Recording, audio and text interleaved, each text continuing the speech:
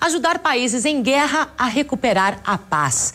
Movidos por essa vontade, mais de 40 policiais de várias regiões do país concorreram a oito postos na Força de Paz da ONU.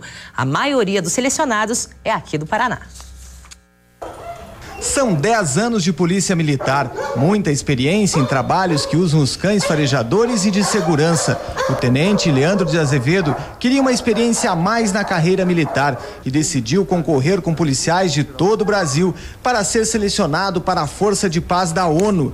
Das oito vagas, cinco acabaram ficando com os paranaenses. Uma delas com o Azevedo. Bastante tensão durante a prova, principalmente por justamente por chegar no local e ver que tinha gente do Brasil inteiro é, tentando ser aprovado para as missões de paz, mas graças a Deus consegui alcançar o êxito. Hoje o Brasil está em três regiões do mundo participando das missões de paz da ONU, no Haiti, na América Central, Sudão, continente africano e Timor-Leste, já na Ásia. São países com grandes conflitos e extrema pobreza. Mas o tenente Azevedo está animado, não vê a hora de participar da missão de paz da ONU. Fica na expectativa, na atenção, na espera, né? Mais, mais um, um aguardo aí de quando tiver a oportunidade para ser chamado.